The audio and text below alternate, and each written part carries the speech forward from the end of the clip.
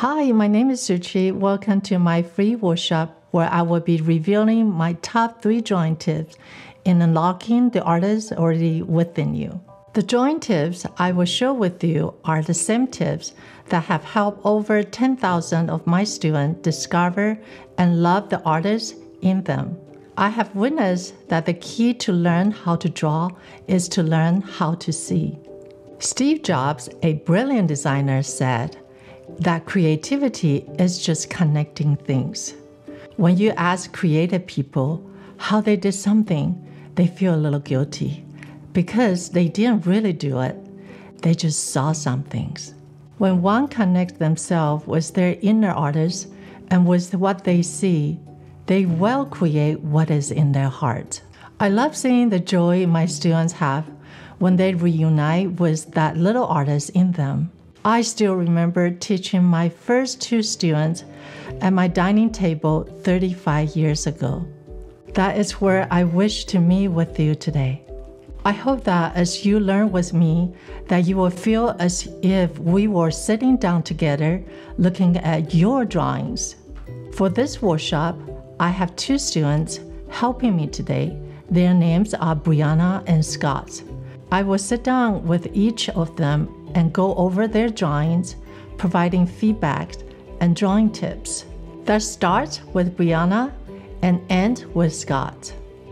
Hi, I'm Brianna. Um, I'm a mother of three. Um, I live in the area and um, I'm super new at art, but um, I did take a couple classes, like beginning classes in high school and in university. And I was also blessed to be able to take a few beginning lessons from ShuChih. Um, I love to draw and I love art, um, and I'm happy that ShuChih is willing to help me to critique some of my drawings that I did earlier today. Yeah, I look at your drawing. Your drawing is actually pretty well. Um, but I do wanted to ask you a few questions. I know having a three children at home and they all like from age one to five, it it could be very um, busy with their schedule. And will you share with us that the the time that you get to do some drawing. How does that feel? Yeah. Oh, I love. Um, I, I haven't been able to do drawing for a while, so when you asked me to do some drawings for today, it was a good excuse to get out the sketchbook again and um, to draw um, some animals, which I really I love drawing animals. It's my favorite thing to draw. Mm-hmm. Um, and while I was drawing, I just felt just relaxed and it was nice to be able to while the kids were taking a nap yeah. just get some some drawing in. Yeah. Yeah well i was really happy to hear that and that is the purpose of having everyone get back to that little artist once who was living you. And let's get on to your drawing today. I see some of your drawing earlier was very, quite impressive um, Thank you. I know you do like panda a lot. I do. it's interesting when you draw panda, your mind just kind of going um, to that zoo or to the memory that when you first see uh, panda. Yeah. Um, tell us a little bit about how you started it, like what kind of method that you was a, be able to apply to it. Yeah, so um, I just started with some basic shapes, like the head is a circle mm-hmm. and the body is more of a rectangle here, and, and things like that, and just kind of did the base, basic shapes around. Mm-hmm. And then after that, um, something that I learned from you was how to um, determine the angles. So I did, I did a little um, of that. This this method of, mm-hmm, of doing mm-hmm, the angles. Yeah. And once I had the basic shape and the angles in, then I went through and did contour mm-hmm. lines of the, the rest of the panda, panda yeah. and the trees. yeah, I mean, I, is it helpful with the determined angle that be able to measure it? It's so helpful. Um, before, I don't think I, I, could ever draw animals this well before I, I learned that that method. So I'm really grateful. Yeah, good. good. That. Yeah, I myself, when I first learned that method, I was very excited too because it just simplify what you see. And um, let's check on some of it because are you happy with the result, or you feel like there's some area you might wanted to, like, not quite sure if it's you, you, uh, you know, like not quite sure how to fix it, that I can be a good help for you? Yeah, I kind of felt like out of the, I did three animal drawings, and out of them, this was the one I was the least confident in. Mm-hmm. I, I feel like there's something off, but like looking back at the picture, I can't quite figure out like what exactly Mm-hmm. it is. Yeah, sure. Let's um, kind of go in a little bit with the determined tail right here. So you can kind of see this angle, right? Yes. And yours is going down right away. So I will thought it was the blocking. So if I can, do you see this part right here? You can kind of move out here a little bit more. Let's try that. And then if I need to give you more room, I can do that as well. Good. Uh huh. And a lot of time we are trying to make it to circle because in our mind we know that panda has it. Um, the head is rounded. That's good too. But in the same time, it's also important just kind of let that direction go all the way. Because when you do that later on, you can compare this ear to this right here. So if you see this part right here, so it's a tipped it, and let's check on your ear right here to here is almost a straight line. If you can see that, do you see the difference? Yeah, it's definitely more tilted in the picture than Right, it is right. in my picture. So I will go ahead and just think about there is. Um, let me see if I can make that line here. See how the angle is not a straight line. It's probably like not three o'clock yet. Just go ahead and make that mark. it's like like that. Yeah. Uh huh. Yeah, it's a lot, a lot different. Uh huh. Good. And then so you know that this might need to um, raise up a little bit more. And then same thing, instead of doing the curve, I, I see you doing the um, determined angle, so that's wonderful. And and then just kind of do this angle right here, right? Right. Uh huh. And then you can see this right. Mm-hmm. Good. Yeah.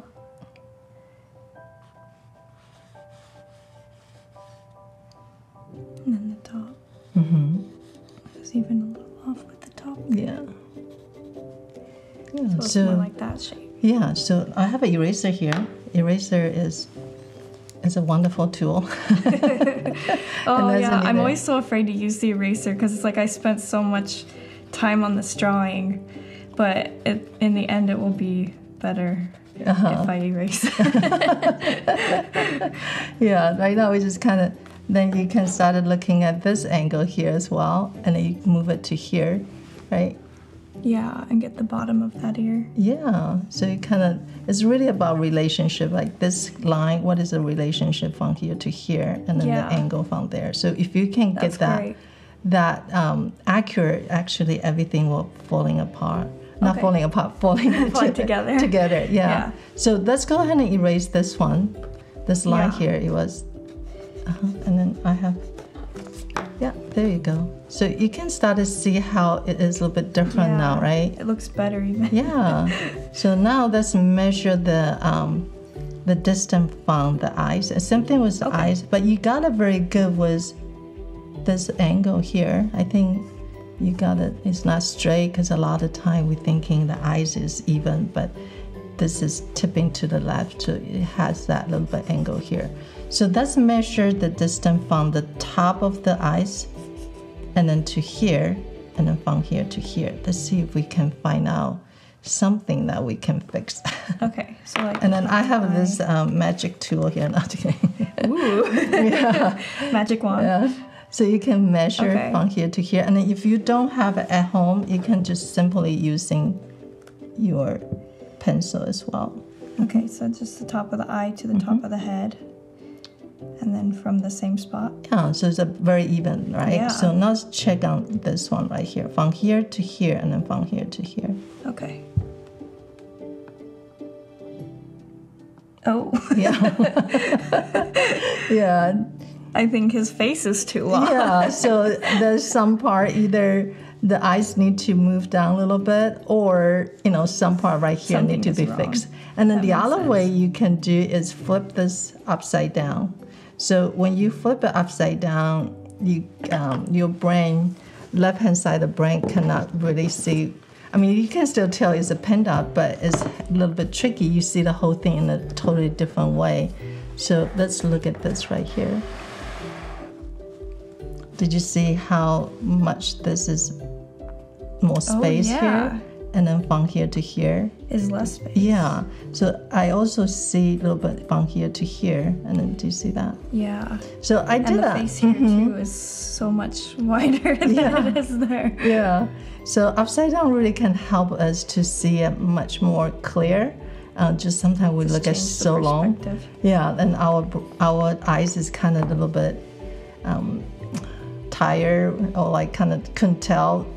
So refresher or sometimes I will put my drawing in front of the mirror to kind of get that look, that, that fresh kind of look. Yeah. That's a great idea. I Yeah, love that. try that. And you can also uh, look at this angle here too. Oh, this is pretty good. Maybe just a little, A little bit. bit Uh-huh. over there. Yeah, good. That's awesome. Well, I hope this help and um, just continue to practice. The more you practice, um, gauging till, um, or you can practice. Uh, we're going to talk about negative space next time. That it can really help you. Do you see how this shape oh, right here? yeah, is different than Yeah, this one. and then right there as well. A little bit more of an angle there. Right, and then from here to here as well. That this is very close. Yeah. Yeah. So it's a lot of um, correcting, and but I feel every time you correct or like you make a difference, you see the the the part that you can actually um, make it better. It always always um, almost like you having a retainer, um, like a fixing your teeth, and you're like, and then to make it more straight. So it hurts because you know you spend so much time to do it, but those are good pain. Yeah. the result will be beautiful. yeah, yeah, and the more you do it, then you will become more natural to you to do the measurement and all that. Okay. Yeah, that's great. So, as ShuChih said, my name is Scott and I'm a chiropractor. And one of the things that I've enjoyed from drawing is being able to take scientific things and then still have to apply them. So, I didn't know until I'd met ShuChih that there was kind of a technique or uh, order to drawing and how to simplify it.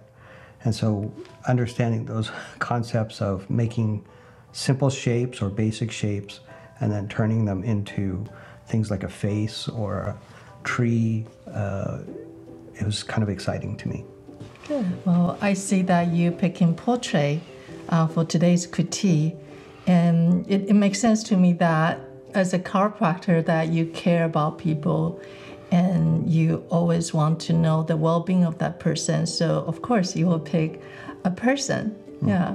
So that's um, look at your drawing. What you happy about and what you not quite happy about, or like what you bothers you. Yeah. Okay. So I like history a lot, and so this is an actor from the 1950s, and um, what I like about it is I think I can tell who it is. So there's a resemblance. So I'm happy about that, because when I first started drawing, everything was very uh, cartoonish and uh, angular with a lot of straight lines.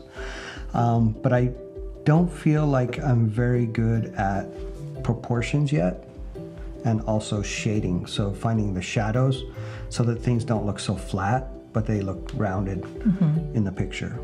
Good. Well, I think you did a lot of thing that is coming together. You know, you do check your angle, even though it could be better, but at least that is a good start. And let's talk about the proportion. Proportion it is not something you can fix in one day. It does take practice and experience. So let's check the proportion um, from the hairline to the eyebrows line. That is uh, one. I'm going to draw on your paper. Is that okay? Yeah, that's fine. So let's check um, back to the the angle. So that eyebrow line, if you move that from here to here, it could be a little bit higher. Uh huh. And if you see the center line of our face is coming from the middle right here, so you can tell. Do you see this angle right here? Mm-hmm. You see how off that is? Yeah. So let's see if our Procreate can help us a little bit right here.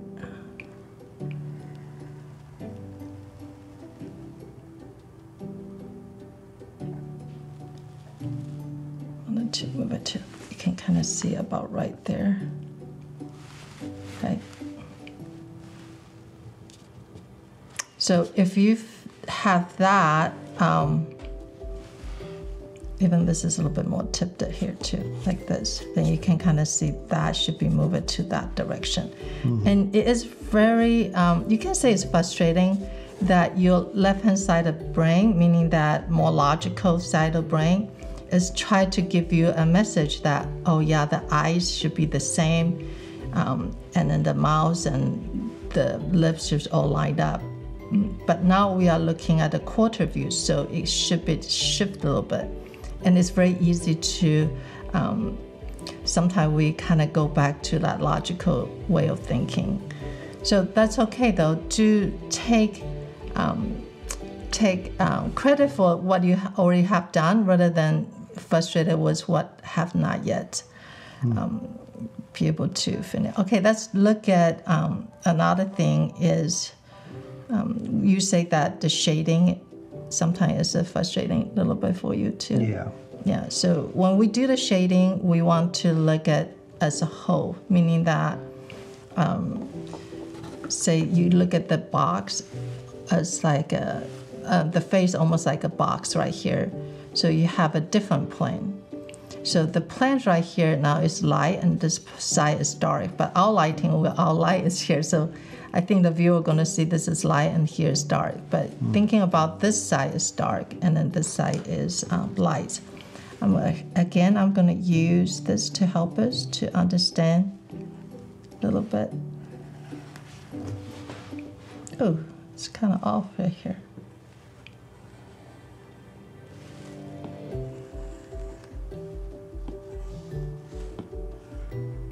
You can see here's a box right here. So when you wanted to um, start doing the shading, you need to think about two value statement, meaning this size will be darker, right? Yep, I see that. So, and you are doing that as well, but again, the angle is a little bit off, right? It should be more tipped to this way. If you move this to here, and then same thing that this part right here. So those are uh, very general, like he wanted to get the angles right. And the next thing you wanted to do is to think about the eyes. Is even though we're thinking the eyes should be um, should be lighter, especially like right here, but the whole socket of the eyes is under the skull. So this size right here, I would generally just shade it dark because that is cause the shadow because it's in rather than sticking out. Hmm. And then also the bottom of the nose, this part right here is also darker. darker. And then the upper lips is also darker here. You can see this side had to be darker and then hmm. lighter here on the lips because the lip is bottom lip is sticking out. And then the, underneath the shadow, you can see this is darker again. The chin is also sticking out and then darker. So you have a pattern of dark, light, dark, light, and then dark. This is a little bit lighter, but we have a cast shadow here, so it's kind of causes all shadow here. So it's darker, lighter. The keystone also is a little bit darker and then light. So that is a pattern that we can follow as well. Um, we didn't talk about the proportion. Continue. So from here to here, and then from here to here, from the eyebrow to the bottom nose, and from the bottom nose to the chin, it should be an equal distance. So let's check on yours. Here's one. That's really good right there, right? Very close. Um, the nose is a little bit too long, I think, because from here to here, it should be about almost the same distance. Do you see that? Yep. And then from here to here, um, that will be the same distance as well. So if you kind of move the nose just higher a little bit, that part from here could be a little bit easier um, to see the the distance from the nose to the upper lips because right now it seems really like very it. yeah uh-huh okay so try those two parts, you know look at the big shadow first rather than jump right in to try to figure out um, where the shadow is so the general shadow meaning um, the plane you know right here so I think that will help to uh, look at the portrait as a whole view too. And the other thing I do wanted to mention is a lot of time we're looking at the photograph and it's very easy for us to try to copy exactly what the photo look like and then to the paper. But a lot of time as an artist, we need to kind of pick and choose what is more important. Um, when we look at people's face, we don't just look at um, the eyes directly. We look at the whole thing, meaning that we are looking at light and dark. I do have some photo that I uh, prepared that I want to share with you about others' uh, drawings. So you can see right here, there's not eyes, nose, or mouth are very clear, very well illustrated. But what you see is just light and dark, right? And but you get a feel of that person. And so when you do the portrait, uh, it is important to um, measure the angle, measure the proportion. But the most important is to see that light and dark, to see that person's um, um, almost like the inner thought that comes out, like that emotion.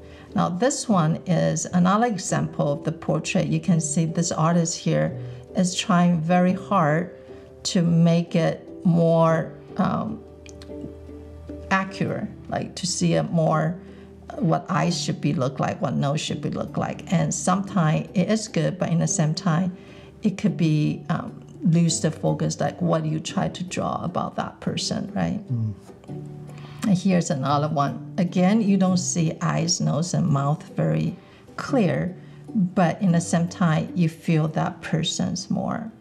And so when we do the portrait, um, especially you're doing like more history historicals, is like from photo, you do want it to um, think about soft edge and hard edges as well, rather than everything is all hard edges. So pick an eyes that is more important for you, rather than both eyes is all same equal de- um, detail or like same equal of the clearness. Okay. Got it. Yeah, well, I hope this is kind of helpful. Yeah, you, yeah. for your next drawing, and I can't wait to see the next drawing as well. Thank you for joining my workshop. If you are feeling stuck or wonder what your next step are in your drawings, I have a free inner artist collaboration call that you can book with our team today. Whether you have been drawing for a few weeks or have been drawing for years, share your art journey with our team and receive my personal feedback on your drawings.